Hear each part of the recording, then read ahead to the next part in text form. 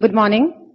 Myself, Dr. Anju Beniwal, Assistant Professor Sociology, Government Meera Girls College, Udaipur आज हम प्रतियोगिता दक्षता कार्यक्रम के अंतर्गत अपना लेक्चर में देने जा रही हूँ जिस लेक्चर का टाइटल है संस्कार संस्कार समाजशास्त्र विषय में एक बहुत ही महत्वपूर्ण टॉपिक है जिसे कि प्रतियोगिता के दौरान भी काम में लिया जाता है और आरएस के मेंस फ़र्स्ट पेपर के अंदर, पार्ट थर्ड में संस्कार जो है, उससे संबंधित प्रश्न पूछे जाते हैं। इसलिए हमें संस्कार के बारे में जानकारी होना ज़रूरी है। संस्कार होता क्या है? संस्कार की अवधारणा क्या है? संस्कार कहते किसे हैं? अगर हम एक इजी वर्ड के अंदर यूज़ करें कि व्हाट इज़ संस्कार तो हम कह सकते हैं कि संस्कार बेसिकली व्यक्ति को पवित्र बनाने और उसके क्रियाकलापों को प्रतीकात्मक रूप से संपादित करने के जो हम संस्कार कहते हैं, और संस्कृत के अंदर हम कह सकते हैं कि समम क्रियते इति संस्कार। अर्थात जो व्यक्ति प्राकृतिक रूप से सामाजिक मानदंडों को नहीं जानता, उसे सामाजिक मानदंडों के अनुरूप बनाना संस्कार है। और अगर हम भारतीय संस्कृति की बात करें तो उसके अंदर मनुष्य को सामाजिकरण के द्वारा सामाजिक जो व्यवहार के तौर तरीके हैं, उनको सिखाना, सामाजिकरण की प्रक्रिया को संपादित करना संस्कार कहलाता है। इसके बहुत सारे दूसरे मीनिंग्स भी हैं, जैसे इसका अर्थ शिक्षा हो सकता है, प्रशिक्षण हो सकता है, सौजन्यता हो सकता है, पूर्णता, शुद्धता, शुद्धिकरण। लेकिन इसका जो मेन अर्थ है मूल अर्थ है, वो होता है परिष्कार, जिसके इर्द गिर्द ये सभी अर्थ घूमते रहते हैं। ये माना जाता है कि मनुष्य जब जन्म लेता है तो पाँच ऋणों के साथ जन्म लेता है और वो पाँच देव ऋण, ऋषि ऋण, पितृ ऋण, अतिथि ऋण, भूत ऋण और इन ऋणों से उऋण होने के लिए उसे पाँच यज्ञों को संपादित करना पड़ता है। देव यज्ञ, ऋषि यज्ञ, पितृ यज्ञ, अतिथि यज्ञ और भूत यज्ञ। और इन पाँच यज्ञों को संपादित करने के लिए व्यक्ति को आंतरिक रूप से पवित्र होना ज़रूरी है। व्यक्ति आंतरिक रूप से पवित्र होकर, प्रतीकात्मक रूप से जिन क्रियाकलापों को करता है, उन्हें हम संस्कार कहते हैं। ये जो हमारी व्यवस्था है, जो हमारी प्राचीन व्यवस्था है, उस प्राचीन व्यवस्था के अंदर संस्कार का बहुत ही महत्वपूर्ण योगदान रहा है।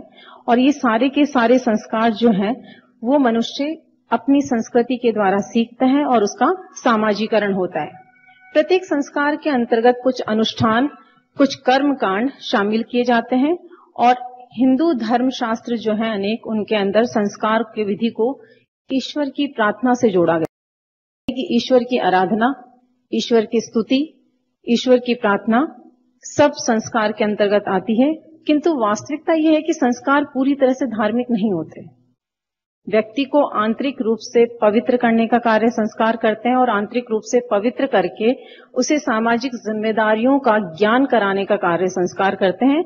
इसलिए हम कह सकते हैं कि संस्कार पूर्णतः धार्मिक न होकर, बल्कि एक सामाजिक धार्मिक संबोध है। यानी उसमें सामाजिक का अर्थ भी आता है और धार्मिकता का भी अर्थ आता है। और संस्कार विश्व के सभी समाजों के अंदर देखने को मिलते हैं। कोई भी समाज ऐसा नहीं होगा जिसमें कि संस्कार व्यवस्था नहीं पाई जाती हो और सभी संस्कारों के अंतर्गत किए जाने वाले विधि विधान अलग अलग होते हैं। परंपरावादी समाजों में हम संस्कार जो है, उसकी प्रधानता अधिक देखते हैं, उसका प्रभाव अधिक देखते हैं और हमारे संस्कार, हमारी संस्कृति का अभिन्न अंग है। व्यक्ति के व्यक्तित्व के समुचित विकास के लिए बहुत ही ज़रूरी है। अतः संस्कार के महत्व को नकारा नहीं जा सकता। पश्चिमी समाजशास्त्रियों ने संस्कार को, संस्कार के लिए तीन शब्दों का प्रयोग किया था। धार्मिक उत्सव सैरमनी धार्मिक अनुष्ठान राइट धार्मिक विधि विधान सैक्रामेंट धार्मिक उत्सव और धार्मिक अनुष्ठान का अभिप्राय, धार्मिक क्रियाओं, अनुशासित अनुष्ठान, व्यर्थ के आडंबर कर्म कांड औपचारिकता और अनुशासित व्यवहार से है। लेकिन ये सारे अर्थ जो हैं, वो संस्कार को उपयुक्त रूप से परिभाषित नहीं करते, इसलिए ये अर्थ अनुपयुक्त प्रतीत होते हैं। तीसरा जो शब्द उन्होंने प्रयोग किया था, धार्मिक विधि विधान दैट इज़ सैक्रामेंट वो बहुत ही अधिक उपयुक्त प्रतीत होता है, क्योंकि इसका अर्थ है कि वे धार्मिक विधि विधान या क्रियाएँ, जो आंतरिक और का बाहरी तथा दिखाई देने वाला प्रतीक है। हम कह सकते हैं कि संस्कार एक प्रतीक है और प्रतीक के रूप में बहुत ही महत्वपूर्ण है क्योंकि इसमें धार्मिक विधि विधान से संबंधित होने के कारण ये और भी ज़्यादा महत्वपूर्ण हो जाता है और जनरली ये प्रतीक होने के कारण किसी भी रहस्यपूर्ण या पवित्र वस्तु से संबंधित होता है। संस्कार जो होता है वो धार्मिक तरीके से व्यक्ति के जैविक, मानसिक और सांस्कृतिक विकास के लिए महत्वपूर्ण योगदान देता है। अतः उसे हम कह सकते हैं कि संस्कार के द्वारा मनुष्य को एक सामाजिक सांस्कृतिक प्राणी बनाया जाता है। जब हमने बात की कि संस्कार व्यक्ति के आंतरिक और आत्मिक सौंदर्य को भारी रूप से आ, दिखाता है या भारी रूप से प्रदर्शित करता है तो हम कह सकते हैं कि जो कुछ भी हमारे अंदर है जिसे हम पवित्र कह सकते हैं उन सब पवित्र विचारों को भारी रूप से प्रदर्शित हमारे संस्कार करते हैं। तो संस्कार न केवल हमारे शारीरिक, मानसिक, सांस्कृतिक विकास के लिए उत्तरदायी होते हैं, बल्कि मनुष्य को एक सामाजिक और सांस्कृतिक प्राणी बनाने में भी महत्वपूर्ण योगदान देते हैं। पीवी काणे ने अपनी पुस्तक द हिस्ट्री ऑफ़ अर्थशास्त्र में कहा कि संस्कार वह है जिसके करने से कोई पदार्थ उपयोगितापूर्ण बन जाता है। अर्थात, कोई भी ऐसा पदार्थ जिसे यदि हम संस्कार के साथ जोड़ देते हैं चाहे वो चावल हो, रोली हो, मूली हो, अगर हम उसे किसी संस्कार में उपयोग में ले लेते हैं तो उस पदार्थ की उपयोगिता बढ़ जाती है। जिस प्रकार से गंगा नदी में स्नान करने से गंगा नदी का महत्व बढ़ गया, जिस प्रकार से तुलसी के वृक्ष जो है उसका अपना महत्व है क्योंकि उसे हम एक पवित्र वस्तु से जोड़ते हैं तो इसी प्रकार से कोई भी पदार्थ, चाहे वो भौतिक पदार्थ हो या अभौतिक पदार्थ हो, उसे अगर हम संस्कार के अंदर काम में लेते हैं तो उसकी उपयोगिता बढ़ जाती है। और इस प्रकार से हम कह सकते हैं कि संस्कार जो होता है, वो किसी भी पदार्थ को उपयोगी बनाने में महत्वपूर्ण योगदान देता है। इसी के साथ राजवाली राजवाली पांडे जो थे, उन्होंने अपनी पुस्तक हिंदू संस्कार में कहा कि जिस प्रकार चित्रकला से सफल के लिए विविध रंगों की आवश्यकता होती है, उसी प्रकार चरित्र निर्माण भी विभिन्न संस्कारों के द्वारा ही होता है। अगर हम कहें कि हम कोई पेंटिंग कर रहे हैं तो वो पेंटिंग सक्सेसफुल होगी या नहीं होगी वो पेंटिंग सही ढंग से बनेगी या नहीं बनेगी उसके अंदर उन रंगों का बहुत इंपॉर्टेंस होता है। उन कलर्स का बहुत इंपॉर्टेंस होता है और बिना कलर्स के हम किसी भी चित्र को आ, सही ढंग से नहीं देख सकते हैं उसका जो ब्यूटी है वो नहीं बन पाएगी। उसी प्रकार से हम कह सकते हैं कि संस्कारों के बिना चरित्र निर्माण नहीं हो सकता। एक व्यक्ति का विकास हो सकता है, लेकिन अगर संस्कारों रहित उसका व्यक्तित्व का विकास होगा तो उसका चरित्र जो है, वो उसका निर्माण नहीं होगा। और एक अच्छे चरित्र के निर्माण के बिना एक अच्छे परिवार, समाज और राष्ट्र का निर्माण संभव नहीं है। संस्कार व्यवस्था के उद्देश्य। जो भी हमारे भारतीय समाज के अंदर प्राचीन समाज समय से संस्कार व्यवस्था चली आ रही है, उसके कुछ न कुछ ये अलग है कि इस संस्कार व्यवस्था में प्राचीन काल से according to situations according to the changes in society संस्कारों में भी परिवर्तन हुआ है। और पहले बताया जाता था कि संस्कार एक अनिवार्य हिस्सा होते थे हमारे जीवन का। धीरे धीरे लोगों में ये भावना बनती गई कि संस्कार कोरे कर्म कांड है और उनका कोई महत्व नहीं है। हालाँकि इसके पीछे जो तर्क है, उसे समझने का प्रयास नहीं किया गया। ये सत्य है कि सभी संस्कारों के पीछे कोई न कोई उद्देश्य अवश्य होता है, कोई न कोई प्रयोजन अवश्य होता है। तो संस्कार व्यवस्था के बेसिक उद्देश्य क्या थे, उसके ऑब्जेक्टिव्स क्या थे, ये जानना बहुत ज़रूरी है। सबसे पहला इसका ऑब्जेक्टिव जो हम डिस्कस कर रहे हैं, वो है सांस्कृतिक विशेषताओं की क्रियात्मक अभिव्यक्ति। लैंगर ने इस उद्देश्य को स्पष्ट करते हुए कहा कि संस्कार के द्वारा भारतीय संस्कृति की विशेषताएँ प्रकट होती हैं। हमें अपने संस्कारों, किसी भी व्यक्ति के हम ये पता लगा सकते हैं कि ये हमारे प्राचीन भारतीय संस्कृति रही है और ये हमारे प्राचीन भारतीय संस्कृति की विशेषताएँ हैं जो कि हमारे संस्कारों में परिलक्षित होती हैं। जैसे कि अगर हम केवल अंत्येष्टि संस्कार को छोड़ दें तो जितने भी अन्य संस्कार हैं, वो हर्ष के प्रतीक हैं। जो स्नेह, अनुराग आदि प्रवृत्तियाँ हैं, उनको संतुष्टि प्रदान करने के अवसर प्रदान करने वाले हैं। जितने भी इमोशंस हैं हमारे, उन सारे इमोशंस को प्रकट करने के लिए हम विभिन्न संस्कारों का सहारा लेते हैं। दूसरा है अशुभ शक्तियों से रक्षा। हिंदू जीवन में मान्यता है कि भूत, पिशाच आदि अनेक अशुभ शक्तियाँ होती हैं, जो कि व्यक्ति का अनिष्ट कर सकती हैं।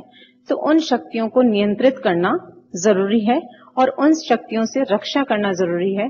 उन अशुभ शक्तियों से रक्षा करने के लिए विभिन्न प्रकार के धार्मिक कर्म कांड यज्ञ, हवन आदि किए जाते हैं। हमारी संस्कार व्यवस्था के अंतर्गत आते हैं।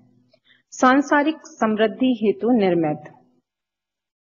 संस्कारों के माध्यम से संपत्ति, शक्ति, दीर्घ जीवन और संतान की कामना की जाती है।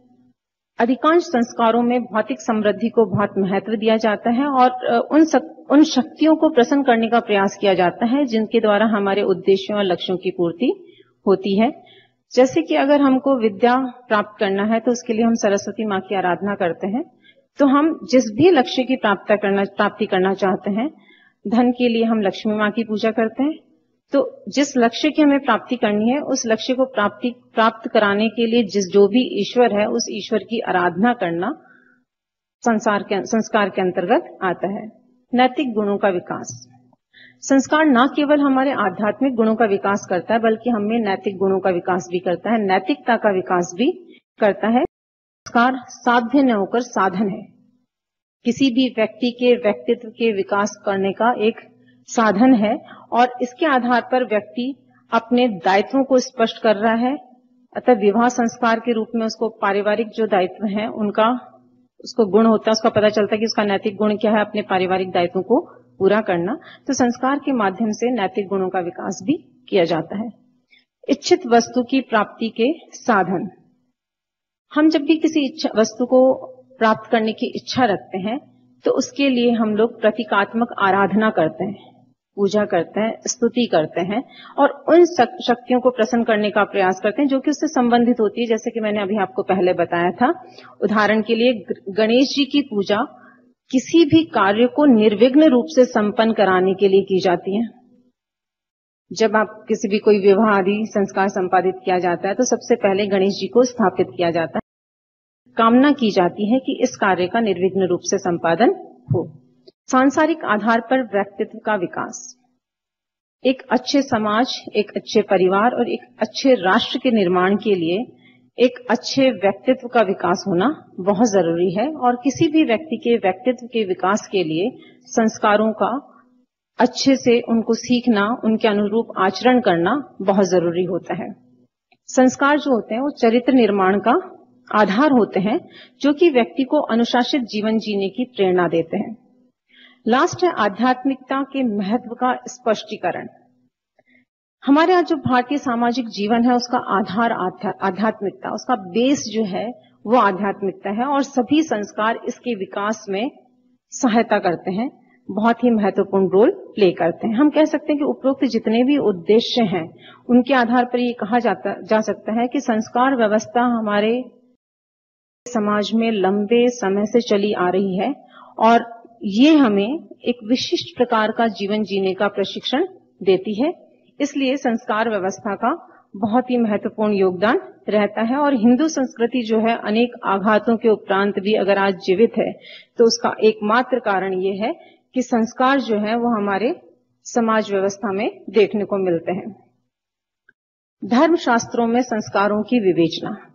प्राचीन काल से वर्तमान काल तक अगर हम देखें तो संस्कारों की संख्या में उतार चढ़ाव होता रहा है। जैसे कि गौतम धर्म सूत्र में संस्कारों की संख्या 40 निर्धारित की गई है। वाराह ग्रह सूत्र, पारासर ग्रह सूत्र, बोधायन ग्रह सूत्र और मनुस्मृति में संस्कारों की संख्या तेरह बताई गई है।